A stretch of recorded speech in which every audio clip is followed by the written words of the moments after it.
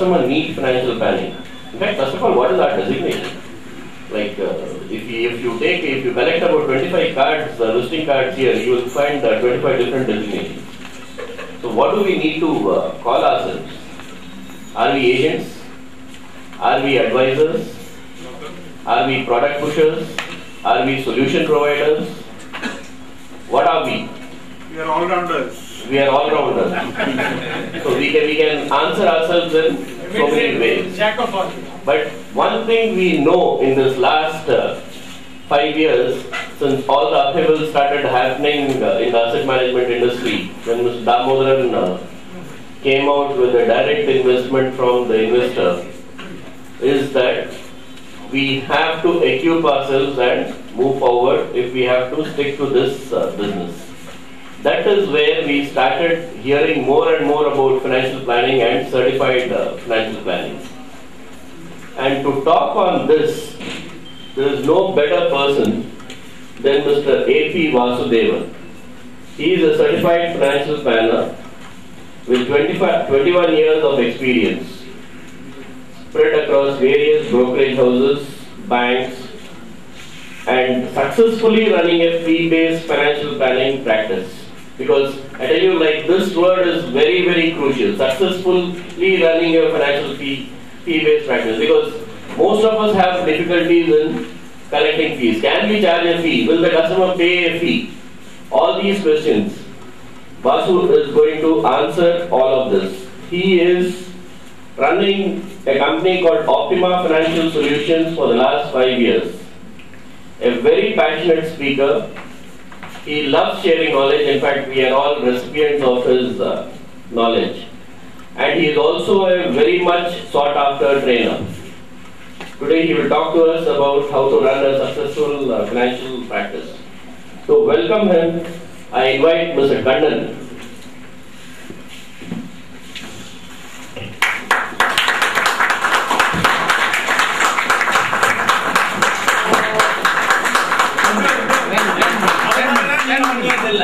Kandan.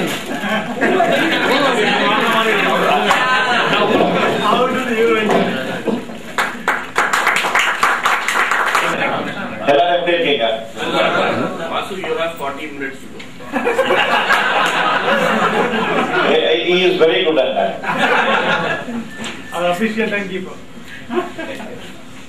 எனக்கு இப்போ இவர் மிஸ்டர் ஸ்ரீனிவாசன் பாண்டிச்சேரி அஹ், ஒரு ப்ரோக்ராம் இருக்கு இந்த மாதிரி ஒரு மீட்டிங் இருக்கு. இப்போ நீ வந்து அட்ரஸ் பண்ண முடியுமா அப்படின்னு சொன்ன உடனே பெரிய எக்ஸைட்மெண்ட் ஏன்னா காலேஜ் டேஸ்லேருந்து பாண்டிச்சேரி தான் it has not a special affinity towards Pondicherry in fact in fact முத முதல்ல I remember coming to Pondicherry during my college days அப்போ அப்பெல்லாம் வேற பர்பஸ்க்காக வந்திருந்தேன் பாண்டிச்சேரியில் வந்த வந்தபோது ஒரு யூனிக் திங் நான் என்ன பார்த்தேன்னா all roads lead to beach எங்க போனாலும் நேர பீச்சுக்கு போனோம்னா போனா யாருமே கேட்க மாட்டாங்க. நேரம் ஒரு பெரிய ரோடு இருந்தா அது பார்த்து நடந்து போறீங்கன்னா பீச்சுக்கு போயிடலாம். அப்போ நான் இப்ப கேட்டேன் என்னோட ஃப்ரெண்ட்ஸ் எப்படி இது அப்படின்னு கேட்கும்போது அவங்க சொன்னாங்க Pondicherry is a well planned city அப்படின்னா சோ அந்த மாதிரி சிட்டில இருக்கீங்க நீங்க. ஓகே பெரிய ப- நீங்க உங்க எல்லாருக்கும் சேர்ந்து give yourself a big round of applause ஏன்னா you all are already in a very planned city. It is it is not a magic that you are all financial planners or you are going to plan others uh, financial future. அதனால அது பாண்டிச்சேரியில் இருக்கிறவங்களுக்கு that is something inbuilt நான் வந்து பெருசா இங்க எதையும் உங்களுக்கு புதுசா சொல்ல போறது இல்ல Thank you. ஆஹ் உங்களுக்கு தெரிஞ்சது தான் நான் கொஞ்சம் கொஞ்சம் சொல்ல போறேன். பட் நான் பேச ஆரம்பிக்கிறதுக்கு முன்னாடி ஒரு சின்ன ஸ்டோரி சொல்லிடுறேன். இந்த கிரிக்கெட் பத்தி போட்டேன். டாஸ். முதல்ல நீங்க ஒரு பிசினஸ் பண்ணிருக்கீங்க ஏற்கனவே எல்லாம் சக்சஸ்ஃபுல்லா பண்ணிருக்கீங்க இருக்கீங்க பட் இப்போ புதுசா ஃபினான்ஷியல் பிளானிங் ஃபினான்ஷியல் பிளானிங் நம்மளுக்கு வெறுத்து போற அளவுக்கு ஃபினான்ஷியல் பிளானிங் பத்தி பேச ஆரம்பிச்சாங்க எல்லாரும். அது என்ன? பா அன்னைக்கு ஒரு நாள் என்னோட கிளைண்ட் ஒருத்தர் கேட்டாரு. ஒரு கிளைண்ட் இன்ஜினியர் அவரோட பையனை பொண்ணை டாக்டர் படிக்க வைக்க போறாரு. இன்னொரு கிளைண்ட் டாக்டர் என்ன கேட்டார்? வாசு உனக்கு தெரிஞ்ச டாக்டர் கிட்ட கேட்டு சொல்லுன்னாரு நான் உடனே இந்த டாக்டருக்கு ஃபோன் பண்ணேன். இந்த மாதிரி படிக்கணும்னு ஆசைப்படுறான் என்ன பண்ணாங்க?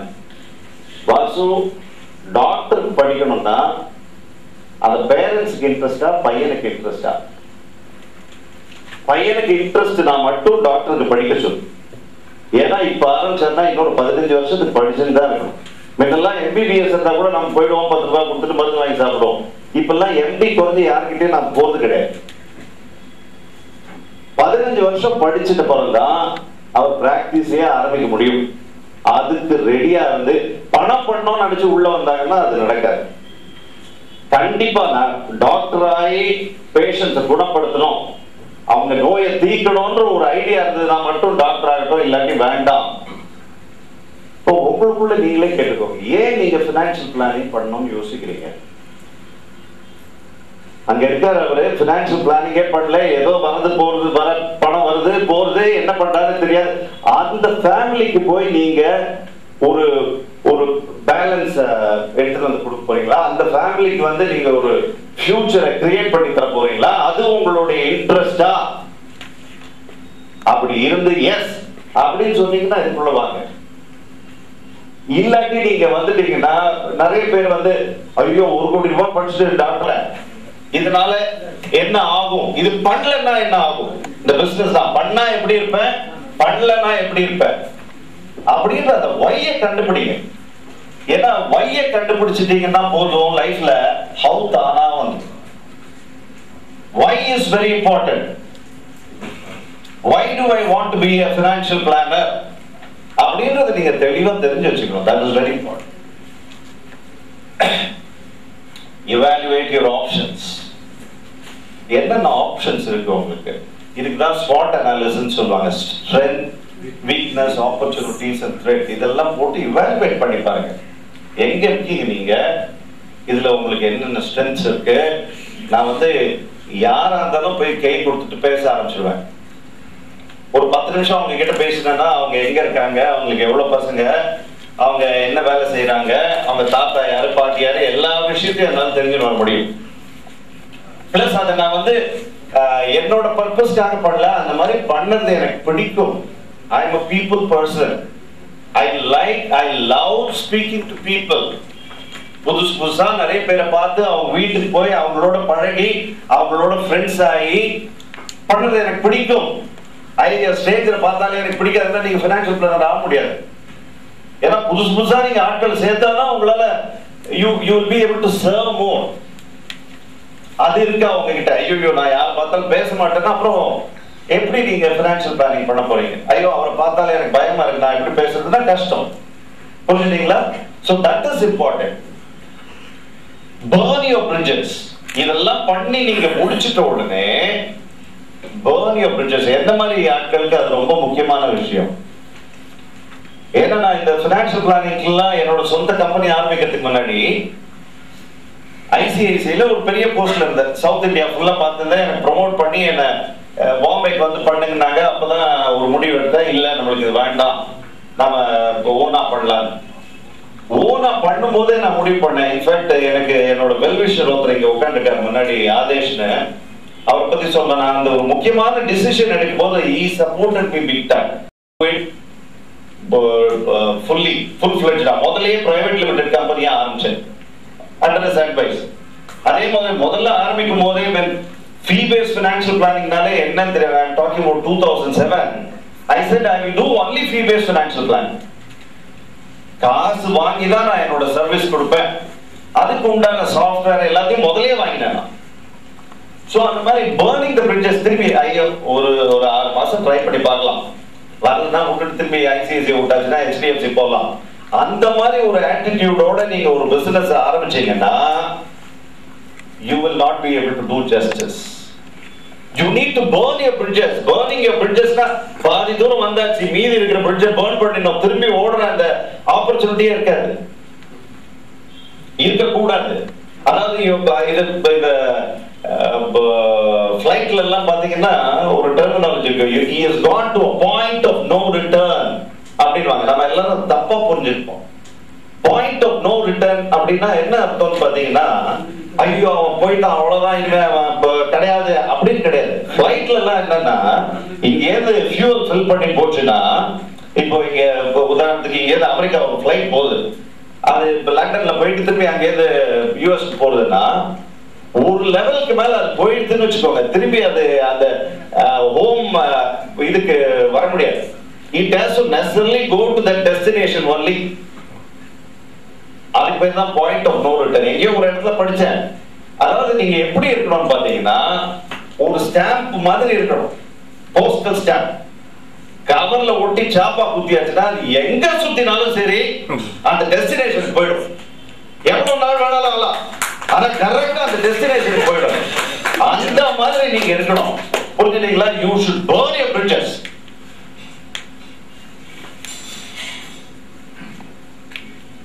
அடுத்தது டாஸ் டேக்கிங் காட் பேட்டிங் ஆடணும்னு முடிவு பண்ணிட்டீங்க. டாஸ் வின் பண்ணிட்டு you need to take guard என்ன பண்ணணும் முக்கியமா? அடுத்தது என்ன பண்ணணும்? போன உடனே என்ன சொல்றாங்க? இதுதான் இந்த வருஷத்துக்கு சிலபஸ் ஒரு குவார்டர்லி எக்ஸாம் இருக்கும் ஒரு ஆஃபர்லி எக்ஸாம் இருக்கும் ஒரு ஆனுவல் எக்ஸாம் இருக்கும். அதை விட்டுட்டு உங்க பசங்களை ஒரு ஸ்கூல்ல சேர்த்திருக்கீங்க பிரின்சிபலை போய் பாக்குறீங்க சார் இது இந்த ஸ்கூல்ல எப்படி evaluation? அதெல்லாம் ஒண்ணும் கிடையாது. எப்போனாலும் வரலாம் போகலாம் டெஸ்ட்ல எதுவும் கிடையாது. சிலபஸ் சிலபஸ்ல ஒண்ணுமே கிடையாது. இந்த கிளாஸ்ல பிடிச்சிருக்கா இங்க படிப்பாங்க அடுத்த கிளாஸ் பிடிச்சிருக்கா அப்படி போய் படிப்பாங்கன்னா அந்த ஸ்கூல்ல போய் சேர்ப்பீங்களா பசங்களை? இல்ல ஒரு வேலைக்கு போறீங்க பாஸ் வந்து உங்களை பார்த்துட்டு சார் என்ன பண்ணணும் சொல்லி, உனக்கு என்ன தோணுது இவ்வளவு பெரிய ஆபீஸ் இருக்கு எல்லாரும் உட்கார்ந்துருக்கோம். என்ன பண்றியோ நீ உனக்கு பிடிச்சதை பண்ணு. அப்படின்னு சொன்னா அங்க போய் நீங்க வேலை செய்வீங்களா? ஆனா நம்மளோட சொந்த பிசினஸ் ஆரம்பிக்கும் போது மியூச்சுவல் ஃபண்ட் தான் விற்க போறோம் ஈக்விட்டிஸ் தான் விற்க போறோம் பினான்சியல் பிளானிங் தான் பண்ண போறோம். எப்படி பண்ண போறோம்? யாருக்கு பண்ண போறோம்? எவ்வளவு பண்ணணும்? யார் நம்ம கிளைண்ட்டு அவங்களை எப்படி எடுத்துன்னு வர போகிறோம் அவங்களுக்கு எப்படி சர்வீஸ் பண்ண போகிறோம் முதல் வருஷம் முடிஞ்ச உடனே எவ்வளோ ரூபாய் நம்ம சம்பாதிச்சிருக்கணும்? ரெண்டாவது வருஷத்துல எவ்வளோ மூணாவது வருஷத்துல எவ்வளோ அஞ்சு வருஷத்துல எவ்வளவு ரூபாய் என்னோட செலவு எவ்வளோ? என்னோட வரவு எவ்வளோ? நம்மளுடைய பிசினஸ் பிளானே நாம பண்ணலன்னா நாம இன்னொருத்தருக்கு போய் பினான்சியல் பிளானிங் பண்ண முடியுமா? பண்ணலாமா? சொல்லுங்க. சோ நம்மளுக்கு முதல்ல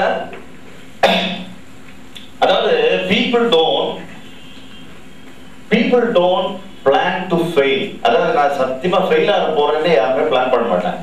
What they do is they just fail to plan plan முதல்ல பண்ணி இது வரைக்கும் நீங்க உங்க பிசினஸ் சீரியஸா எடுத்துக்கல ஒரு பிளான் எழுதலைன்னா இன்னில இருந்து என்னுடைய ஹம்பல் சஜஷன் வீட்டுக்கு போயிட்டு நாளைக்கு சண்டே உட்காந்துட்டு ஒரு பிளான் எழுதிப்பார். அது எப்படி பண்ணோம் என்ன ஏதுன்றதெல்லாம் நான் சொல்லியிருக்கேன். அந்த பிளான் என்ன ஆகும்னா முதல் வருஷத்துக்கு அப்புறம் எங்க போயிருக்கு? ஐயோ நம்ம இது பிளான் பண்ணோமே இது வரல போலுக்கு இந்த வருஷம் ஏன்? அடுத்த வருஷம் என்ன பண்ணுது இதெல்லாம் எவாலுவேட் பண்ண முடியும். நம்மளால நம்மளோட ப்ரோக்ரஸ் நம்மளுடைய டிப்பை வந்து இவாலுவேட் பண்ணறதுக்கு ஒரு பிளான் இருந்ததுன்னா யூஸ்ஃபுல்லா இருக்கும். பிளான் போது என்ன பண்ணணும்னா உங்களோட எக்ஸ்பீரியன்ஸ் என்ன? எது உங்களோட எக்ஸ்பீரியன்ஸ் நான் வந்து ப்ராடக்ட்ல நல்லா இருக்கேன். இவ்வளவு வருஷம் ஒர்க் பண்ணிருக்கேன். உங்களோட ஸ்ட்ரென்த் எது உங்களோட ஸ்ட்ரென்த் நான் போய் பார்த்து பேசினேன்னா போதும் சார். எல்லாரும் நான் சொல்ற பேச்ச கேட்குறாங்க சார். வெறும ஸ்மைல் பண்ணா போதும் சார். அப்படியே நான் எங்கெங்கெல்லாம் கைது போட சொல்றானோ அங்க போடுறேன். ஏன்னா உங்களை பார்த்தாலே அந்த மாதிரி ஒரு ட்ரஸ்ட் வருது. ஏன் என்ன மாதிரி ஆட்கள் போனோம்னு வச்சுக்கோங்களேன் ஆயிரம் கேள்வி கேட்கறேன். உட்காந்து வச்சு ஒரு மணி நேரம் நான் அவங்க கேட்டது போக ஒரு மணி நேரம் கேள்வி கேட்கறாங்க சில பேர் பார்த்த உடனே ஓகே சார் இங்கே கைது போடுறோம் ரைட் சார். அப்படின்னு போடுறவங்க இருக்காங்க. அது உங்க ஸ்ட்ரென்த் உங்க முகராசி. நீங்க போய் கேட்டீங்கன்னா பிசினஸ் வருது. உங்களோட ஸ்ட்ரென்த் என்னன்னு உங்களுக்கு தெரியணும். எந்த செக்மெண்ட்ல நீங்க வேலை செய்ய போறீங்க? ரீட்டைல்ல வேலை செய்ய போறேன்னா இல்ல ஹை நெட்வொர்க் இண்டிவிஜுவல் பார்க்க போறேன்னா இல்ல பட்டிங் ஹை நெட்வொர்க் இண்டிவிஜுவல்ஸ் பார்க்க போறேன்னா எந்த செக்மெண்ட்ல யார் வந்தாலும் சரி சார் பிசினஸ் வந்தா போதும்னு இருக்க சார் இருந்தீங்கன்னா பிசினஸ் வராது. எங்க போய் தேடினா கிடைக்கும்னு தேடினீங்கன்னா தான் கிடைக்கும். அதை முதல்ல தெரிஞ்சு வச்சுக்கோ என்னென்ன ப்ராடக்ட் கொடுக்க போறீங்க? Mutual funds direct equities insurance கொடுப்பேன். அப்புறமா ஃபிக்ஸ்ட் டெபாசிட் கொடுப்பேன் அப்புறம் ரியல் எஸ்டேட் கொடுப்பேன். என்ன கொடுக்க போறீங்க? ரெடியா வச்சுக்கோங்க. தெரியணும். யாராவது கேட்டாங்கன்னா நீங்க என்ன கொடுக்குறீங்க? கரெக்டா சொல்ல தெரியணும். கேஷ் ஃப்ளோ ப்ரொஜெக்ஷன் எவ்வளவு வரும் எவ்வளவு போகும் கையில என்ன நிக்கும்? முக்கியம் இல்லையா? அதுக்கு தான் பிசினஸ் ஆரம்பிக்கிறோம்? அஞ்சு வருஷத்துக்கு மினிமம் கேஷ் ஃப்ளோ ப்ரொஜெக்ஷன் உங்ககிட்ட இருக்கணும். அது வருது வரல அடுத்தது வேற. பட் அது போட்டீங்கன்னா தான் எங்க எவ்வளவு எதிர்பார்த்தோம் எவ்வளவு வரல? What is the gap why is the கேப்ன்றதே பண்ண முடியும் ஓகே சி இந்த ஃபினான்ஷியல் பிளானிங் வந்து ஒரு டெஸ்ட் மேட்ச் மாதிரி ஐபிஎல் டி ட்வெண்ட்டி கிடையாது. ஒரு டெஸ்ட் மேட்ச் மாதிரி இட் ரிக்வயர்ஸ் லாங் ஹால் நேத்தி கடையை தந்துட்டு இப்போ ஒரு வருஷம் கழிச்சு நான் வந்து என்ன ஒரு வருஷமா வேலை செஞ்சுருக்க ஒன்றும் பணம் வரலன்னு நினச்சிங்கன்னா வராது. நான் நான் இந்த மாதிரி ஒரு தப்பான அபிப்பிராயத்துல இருந்தேன். எனக்கு கிட்டத்தட்ட மூணு வருஷம் ஆச்சு இதை தெரிஞ்சுக்கிறதுக்கு. என்ன தெரிஞ்சதுன்னா மூணு வருஷம் கழிச்சு பிறந்தா நான் என்ன பண்ணேன்? ஒரே ஒரு சின்ன விஷயம் பண்ணேன். இந்த மாதிரி இவங்க ஐஎஃப்ஐ கேலக்ஸி கூப்பிடுற மீட்டிங் எல்லாருக்கும் போயிடுவேன். அங்க போனாதான் சக்சஸ்ஃபுல் பீப்புள்லாம் பார்ப்பேன். சார் நீங்க எவ்வளவு வருஷமா இருக்கீங்க? நான் பத்து வருஷமா இருக்கேன். சார் நீங்க எவ்வளவு வருஷமா நான் பதினஞ்சு வருஷமா இந்த பிசினஸ் பண்ணிருக்கேன் அவங்க எல்லாம் பாத்தீங்கன்னா அவங்க எல்லாம் சக்சஸ்ஃபுல்லா இருக்கேன். எனக்கு அட ஒண்ணும் இல்ல பத்து வருஷம் பதினஞ்சு வருஷம் நம்ம தெரிஞ்சதை ஒழுங்கா செஞ்சிருந்தனாலே இந்த பிசினஸ் சக்சஸ் என்ன பண்ணணும்னு தெரியணும் அதை கரெக்டா பண்ணணும். If you stay here for long term you will be successful அதை விட்டு ஷார்ட் டேர்ம்ல இன்னைக்கு இந்த மூன்றரை பர்சன்ட் தராங்க அதை இவ்வளவு பண்ணோம்னா துபாய் அனுப்புறாங்க இல்ல சிங்கப்பூர் அனுப்புறாங்க பேங்காக் அனுப்புறாங்கன்னு யோசிச்சிருந்தீங்கன்னா you will miss the bus you need to have a long term vision ஒரு டாக்டர் இன்னைக்கு போர்டு போட்டு நான் ஒரு கிளினிக் ஆரம்பிச்சிருக்கேன்னா நாளைக்கு பேஷண்ட் அப்படியே லைன்ல வந்து நின்றுவாங்களா இல்ல ஒரு அட்வொகேட் அவர் இப்பதான் முடிச்சு ஜூனியரா முடிச்சு தனியா ஒரு தனி பிராக்டிஸ் ஆரம்பிக்கிறாரு. உடனே வந்துடுறாங்களா? பிசினஸ் ஃபிளரிஷா இருந்தா இல்ல ஒரு ஆர்கிடெக்ட் எல்லாம் இது அந்த மாதிரி ஒரு ப்ரொஃபஷன் அது நம்ம புரிஞ்சுக்கணும். அதுக்கு ஏத்த மாதிரி நம்ம நடந்துக்கணும். This is a profession like that short term நான் எல்லாருக்கிட்டையும் சொல்றது தான் short term will provide you excitement bank of trip இப்ப நான் இன்சூரன்ஸ் விற்கிறேன் என்னோட இன்சூரன்ஸ் கம்பெனிலேருந்து எந்த ஒரு கான்டெஸ்ட் அது இதெல்லாம் அதெல்லாம் நிறைய இப்ப விளையாடியாச்சு இருந்த வரைக்கும். எந்த கான்டெஸ்ட் இருந்தாலும் எனக்கு நீ இப்போ ஃபோன் பண்ணி சார் இது இருக்கு சார். அதே மாதிரி மியூச்சுவல் ஃபண்ட்ல இருக்கிறவங்க கூட ரொம்ப செலக்டிவா தான் நான் பண்றேன். இந்த லாகின் டே பிக் டே இந்த சிக் டே என்கிட்ட வந்துடாதீங்கன்றாங்க உனக்கு லாகின் டேன்றதுக்காக நான் போய் என் கிளைண்ட் கிட்ட இருந்து தள்ள தட்டி இது போடு சார் எல்லாம் கேட்க முடியும் so short term will give excitement but only long term will provide you happiness உங்களுக்கு எந்த உடம்பு முடிப்படும் do you want excitement or do want happiness because happiness is permanent permanent excitement is temporary okay sir Vasu sir நான் sorry to interrupt you இதே point நான் ஒரு மீட்டிங்ல மதுரையில பேசினேன். Short term will divide excitement long term will provide happiness short time கல்யாணம் பண்ணிட்டேன் நான் இவரு சொன்னாரு. நான் கல்யாணம் பண்ணிட்டேன் ஷார்ட் டேர்ம் ரொம்ப எக்ஸைட்மெண்டா இருந்தது ஆனா லாங் படிச்சேன். ஒருத்தர் வந்து கேட்டாரா? "ஏ- ஏங்க லவ் மேரேஜ் பண்ணிக்கலாமா இல்ல அரேஞ்ச் மேரேஜ் பண்ணிக்கலாமா அப்படின்னு கேட்டாரா. இது எப்படி இருந்ததுன்னா சூசைட் பண்ணிக்கலாமா இல்ல சாதாரணமா செஞ்சு போகலாமான்னு கேட்கிற மாதிரி இருக்குது சோ அதனால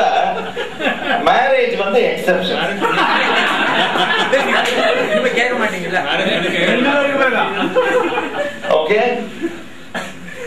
சோ நீங்க வந்து எல்லாருக்கிட்டையும் சொல்ற ஒரே ஒரு தாழ்மையான வேண்டுகோள் என்னன்னு பாத்தீங்கன்னா லாங் டேர்ம்ல இருங்க சார் லாங் டேர்ம் செபி இதை மாத்தட்டும் அதை மாத்தட்டும் அதை பண்ணணும் இதை பண்ணட்டும் எது வேணாலும் பண்ணட்டும். லாங் டேர்ம் பிளேயரா நீங்க இருங்க. யூ லாங் பி சக்சஸ்ஃபுல் நான் இன்னைக்கு சொல்றேன் நோட் பண்ணி வச்சுக்கோங்க நீங்க.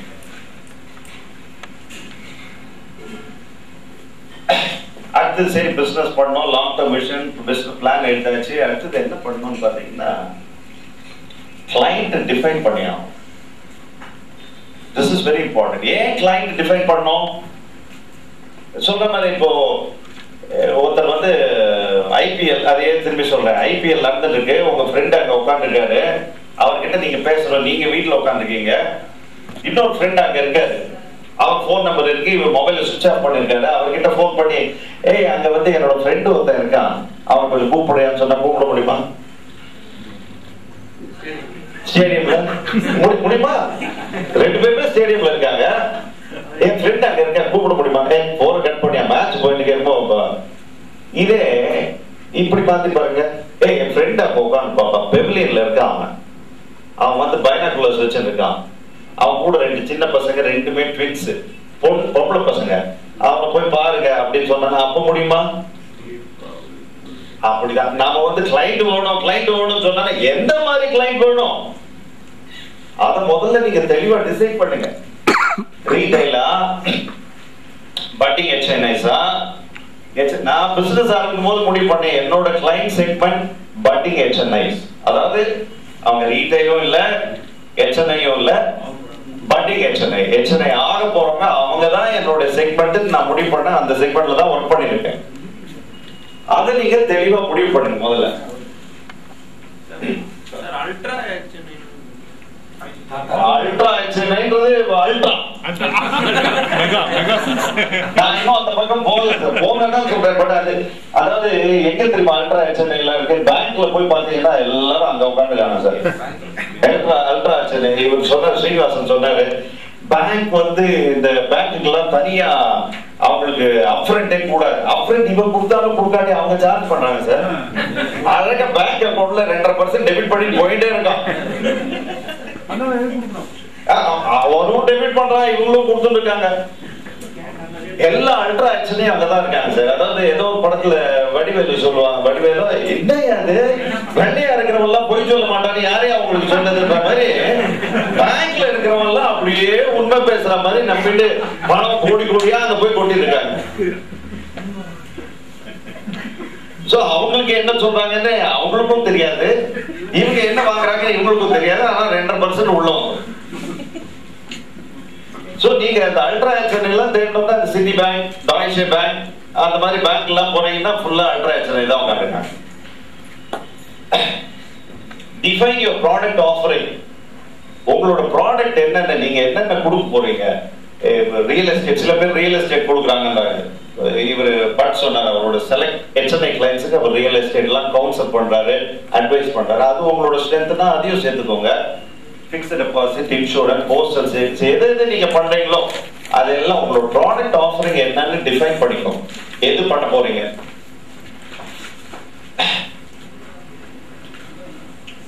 அடுத்து இதுதான் சார் ரொம்ப முக்கியமான விஷயம். நீங்க இது வரைக்கும் சொன்னதெல்லாம் நிறைய பேர் வந்து கொஞ்சம் அப்படியே ரிலாக்ஸா இருந்து மறந்துட்டீங்கன்னா கூட பரவாயில்ல முடிச்சுக்கோங்க இது முக்கியமான விஷயம்.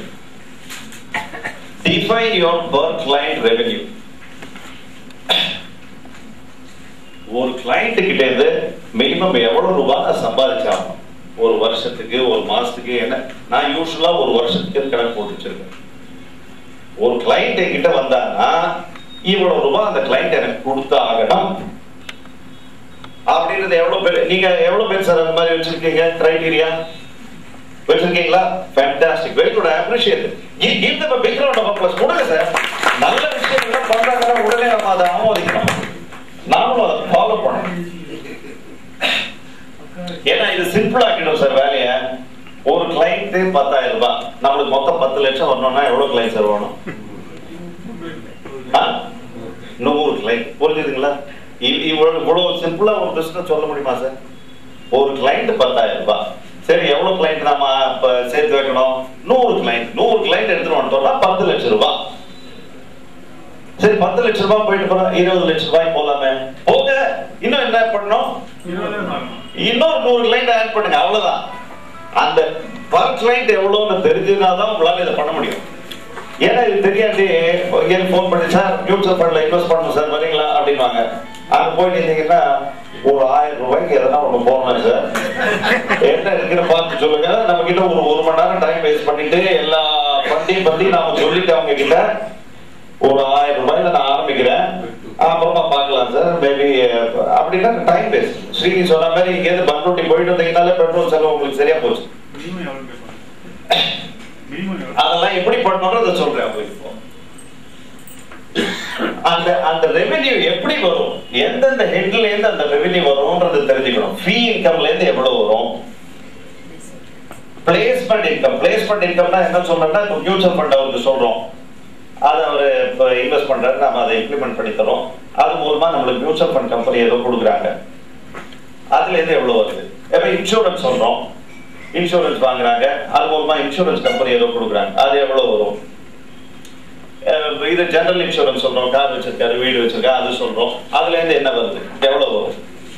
அதர் இன்கம் அதர் இன்கம்னா என்னன்னு பாத்தீங்கன்னா இப்போ நீங்க மியூச்சுவல் ஃபண்ட் ஃபினான்ஷியல் பிளானிங் தவிர மத்த எதனா செய்யலாம். இப்போ கேஒய்சி பண்றதுக்கு சில பேர் சார்ஜ் பண்றாங்க. நூறு ரூபாய் இல்ல எக்ஸிஸ்டிங் போர்ட்ஃபோலியோ கொஞ்சம் ரீகன்ஸ்ட்ரக்ட் பண்ணணும். இல்ல வந்து டிரான்ஸ்மிஷன் பண்ணணும். இதெல்லாம் கொஞ்சம் ஸ்பெஷலைஸ்ட் ஆக்டிவிட்டி பேன் பண்றாங்க. இல்ல டிமேட் அக்கௌண்ட் ஓபன் பண்ணி தரணும். இதெல்லாம் ஒரு இதுக்கெல்லாம் தனியா நீங்க சார்ஜ் போட்டு வச்சுக்கலாம். டிசைட் யோர் டார்கெட் பத்து லட்சம் ரூபாய் இருபது லட்சம் ரூபாய் பத்து லட்சம் ரூபாய் நீங்க ஒரு நல்ல இன்கமா சார் இங்க. இந்த இந்த ஏரியால பத்து லட்சம் ரூபாய் வருஷத்துக்கு. ஹலோ ஓகே பத்து லட்சம் ரூபாய் நல்ல இன்கமா. சரி. எவ்வளவு பேர் இங்க பத்து லட்சம் ரூபாய் சம்பாதிக்கணும்? கை மினிமம் ஏன்னா ஒரு பிளான் சொல்லி தர போறேன். நான் அடுத்தது அங்கதான் வரேன். எவ்வளவு பேருக்கு பத்து வேண்டாமா? ஹலோ? பத்து லட்சம் ரூபாய் மேல வேணுமா? மேல சரி பத்து லட்சம் ரூபாய்க்கு மேல எவ்வளவு பேர் வேணும் ஓகேவா? ஒரு சிம்பிள் பிளான் சொல்லி தரேன்.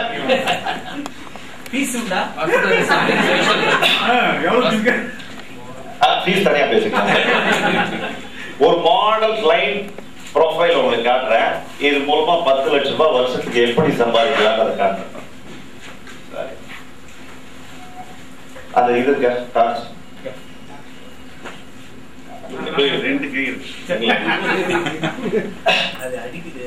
அங்க பாருங்க கிளைண்ட் ப்ரொஃபைல் என்ன சொல்றேன்னா ஒரு dual income husband and wife ரெண்டு பேருமே சம்பாதிக்கிறாங்கன்னு வச்சுக்கோ ஓகே அவங்க ரெண்டு பேரும் சேர்ந்து ஆவரேஜ் ஆனுவல் இன்கம் எவ்வளவுன்னா பத்துல இருந்து பன்னெண்டு லட்சம். அந்த மாதிரி சம்பாத்தியம் உள்ளவங்க இங்க இருக்காங்களா? கண்டுபிடிக்கலாமா? அவங்கள பாத்தீங்கன்னு வச்சுக்கோங்க அந்த செக்மெண்ட் பாத்தீங்கன்னா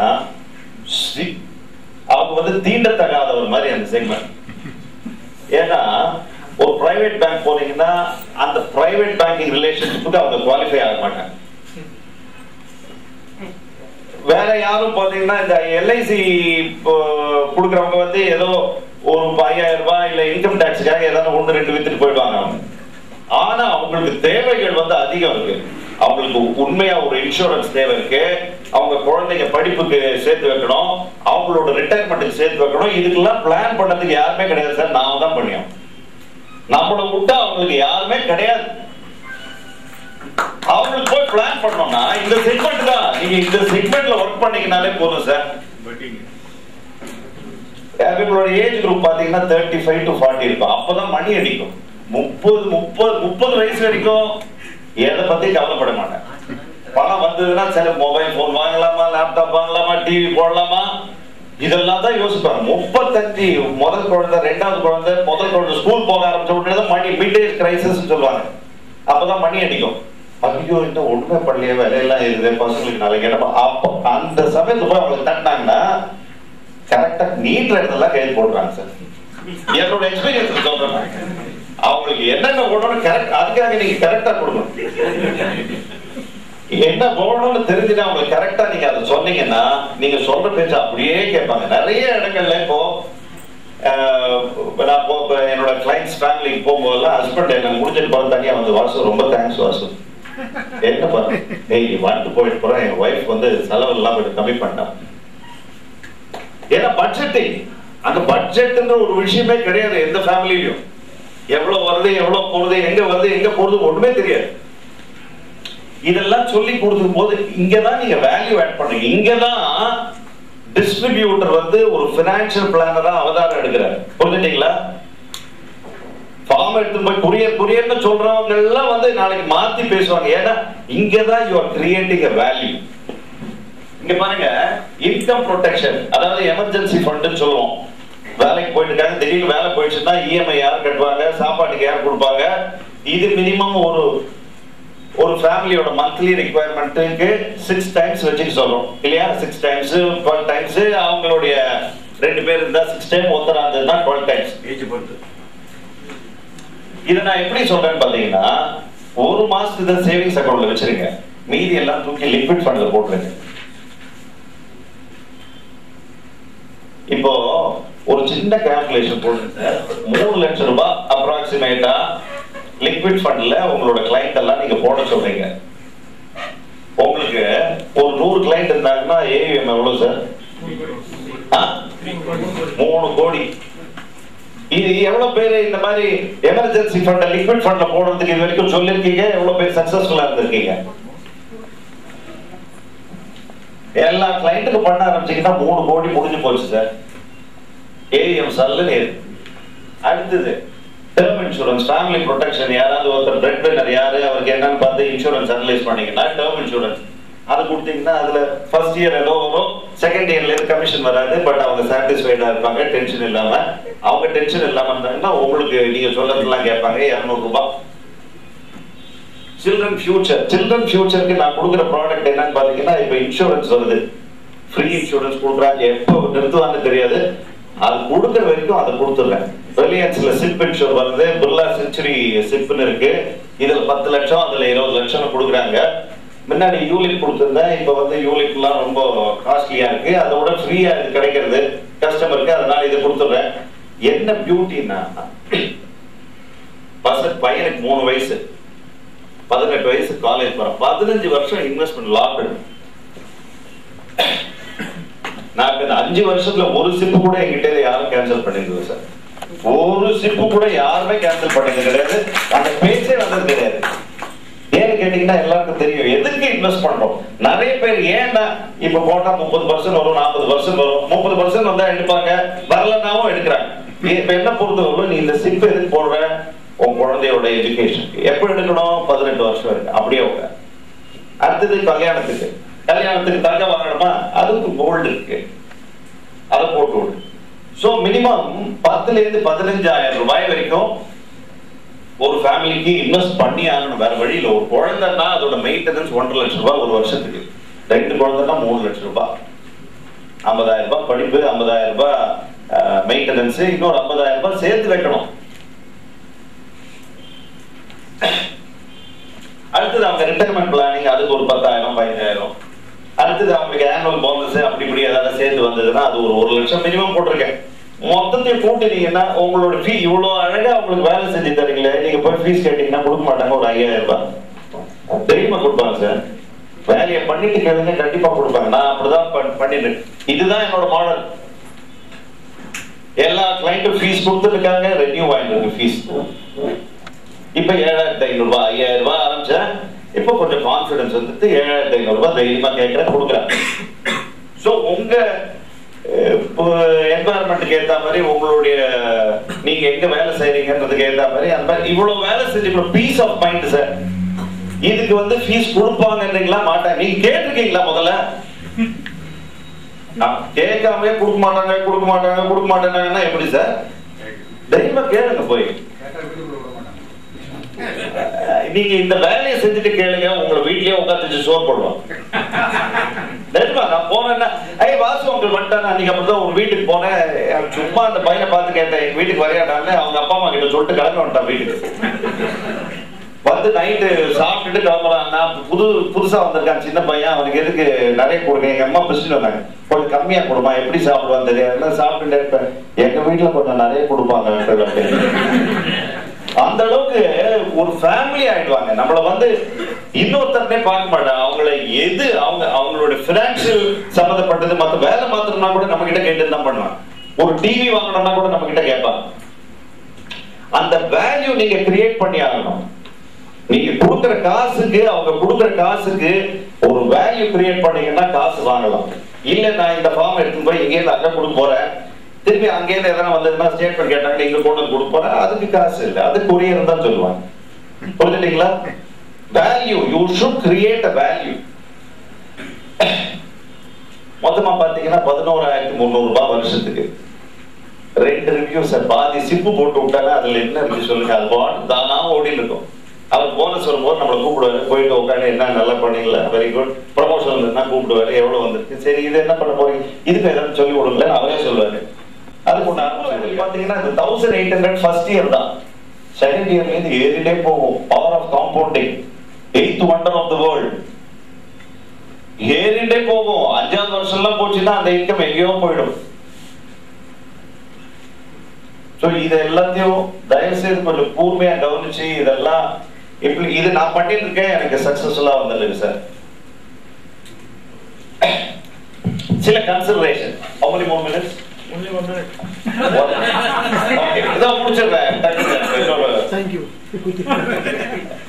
சில விஷயங்கள் அதாவது இதெல்லாம் செய்யணும்னா கொஞ்சம் உபகரணங்கள் வேற ஒரு லேப்டாப்னு சொல்றாங்க இன்னைக்கு இருபதாயிரம் ரூபாய். ஒரு ஒரு டாக்டர் புதுசா முடிச்சுட்டு ஒரு பல் டாக்டர் டென்டிஸ்ட் ஆர்மிக்கு போறாரு.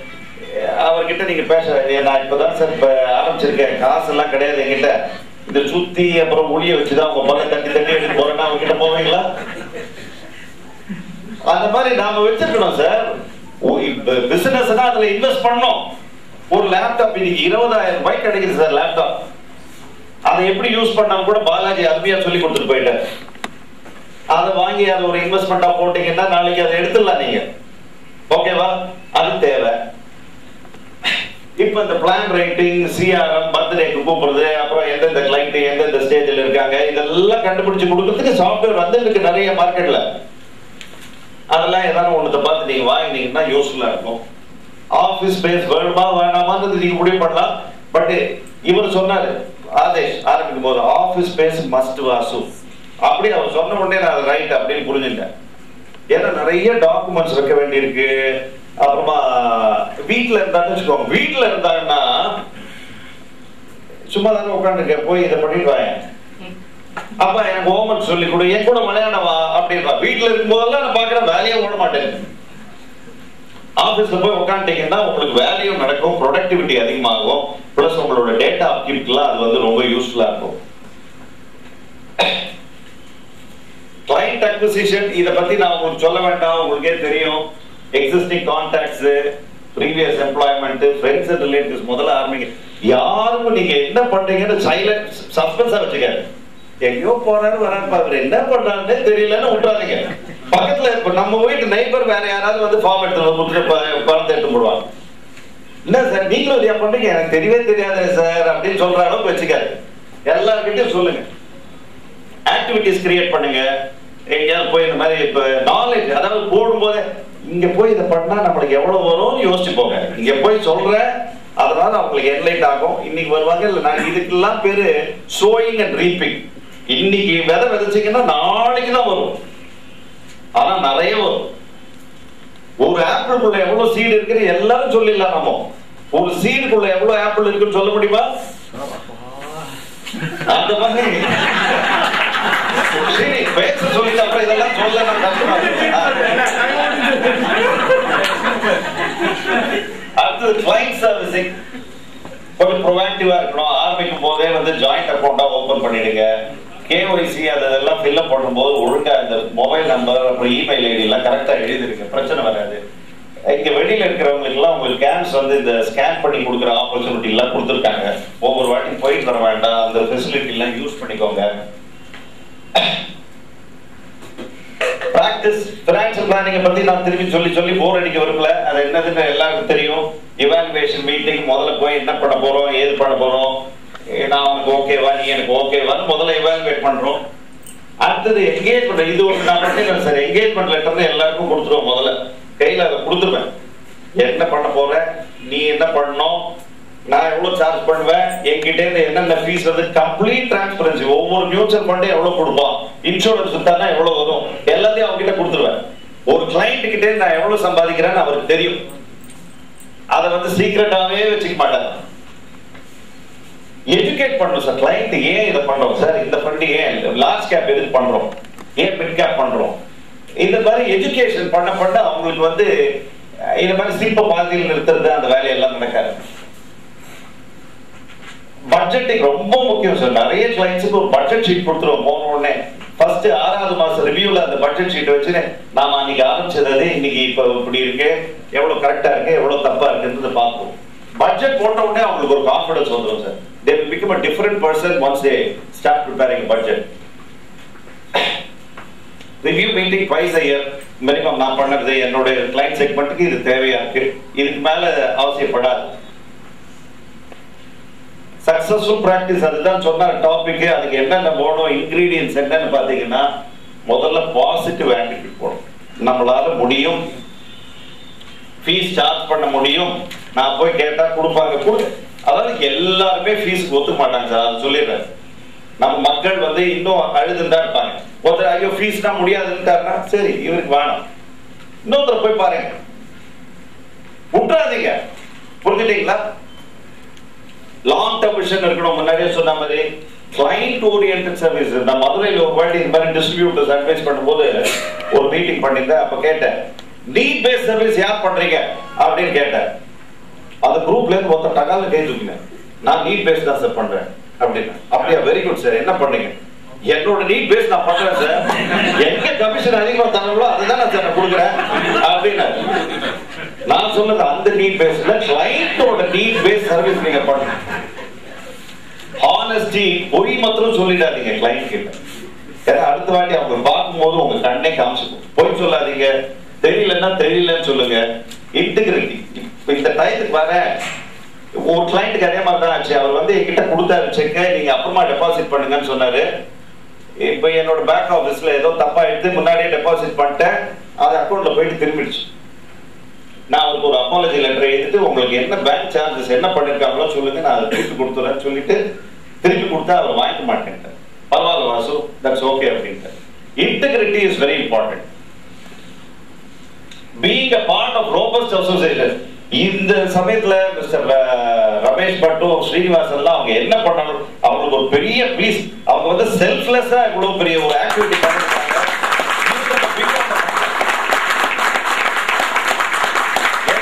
ஒரு சாதாரண விஷயம் கிடையாது. சார் இவ்வளவு பேரை ஆர்கனைஸ் பண்ணி கூப்பிட்டு கோஆர்டினேட் பண்ணி ஒவ்வொரு மீட்டிங் ஆர்கனைஸ் பண்றது. அப்கோர்ஸ் அங்க சுனில் அவர் பேரையும் மென்ஷன் பண்ண மாதிரி Chari is done wonderful job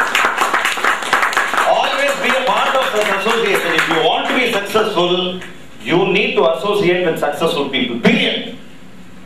இந்த மாதிரி இடங்களுக்கு வந்து நீங்க திருப்பி போகும்போது you be different person you be totally totally person continue learning Continued கத்துக்கோங்க. கத்துட்டே இருக்க இப்போ ஏஎம்சிஸ்லாம் நிறைய சொல்லி தராங்க சொல்லி தராட்டி கூட அவங்க கேட்டுட்டே இருக்க நீங்க. அப்கிரேடிங் நாலேஜ் ரொம்ப முக்கியம் சார் நாலேஜ் தான் பவர் பட் நாலேஜ் மாத்திரம் பவர் கிடையாது. அதை அப்ளை பண்ணணும்.